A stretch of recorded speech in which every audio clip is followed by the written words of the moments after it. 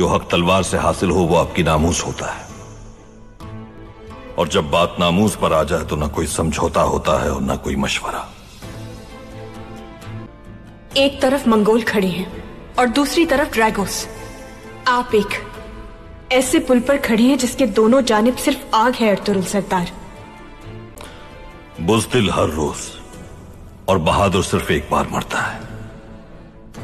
लेकिन बहादुर की मौत जिल्लत से नहीं होती। मैंने हक का नारा बुलंद किया है बिलगे खातून।